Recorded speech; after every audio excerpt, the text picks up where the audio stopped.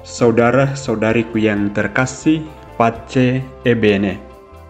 Injil yang kita renungkan pada hari ini diambil dari Injil Matius pasal 19 ayat 16 sampai dengan 22.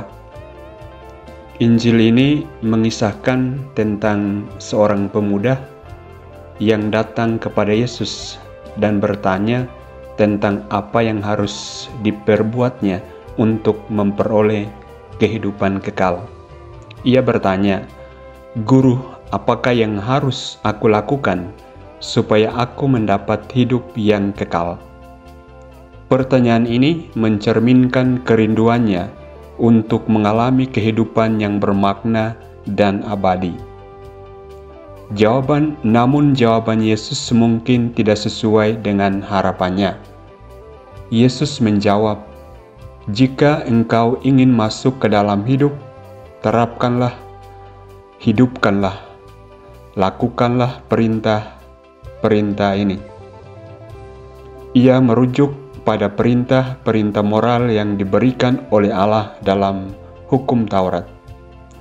Pemuda itu merespons bahwa dia telah mematuhi semua perintah tersebut sejak muda. Namun Yesus mengungkapkan satu hal yang diperlukan lagi.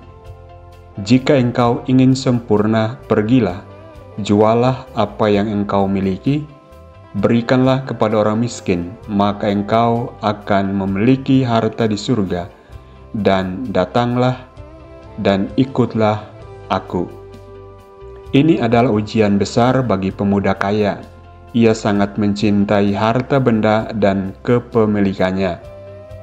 Yesus memanggilnya untuk melepaskan ikatan ini dan mengikutinya. Sayangnya, pemuda itu pergi dengan sangat sedih karena ia tidak sanggup melepaskan harta dunia yang sangat berarti baginya.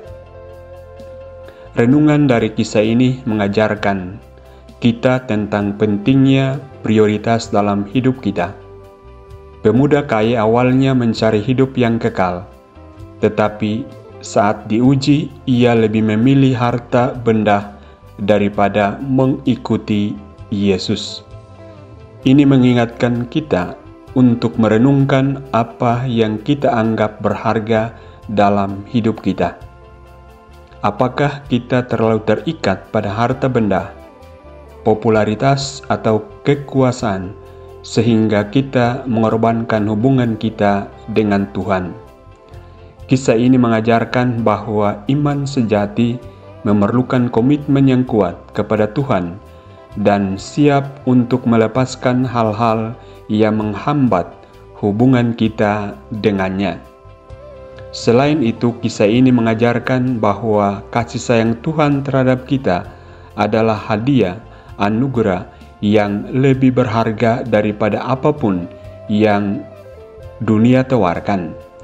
Kita diundang untuk mengikuti Yesus dengan sepenuh hati, melepaskan segala yang menghalangi kita, dan mengabdikan hidup kita untuknya. Inilah, ini adalah jalan menuju hidup yang kekal, yang sejati.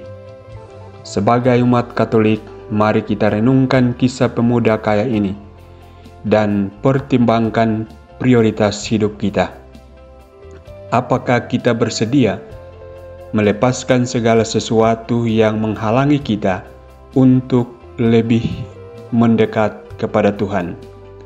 Semoga kita dapat memilih Allah di atas segalanya dan mengikutinya dengan segenap hati, sehingga kita dapat memperoleh hidup yang kekal yang telah dijanjikan olehnya. Tuhan memberkatimu.